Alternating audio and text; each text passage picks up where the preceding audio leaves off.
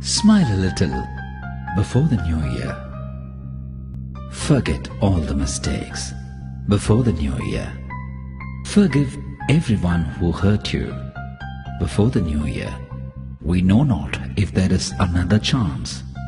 So purify your heart before the new year. Before anyone sends this message, sending you New Year wishes before the new year.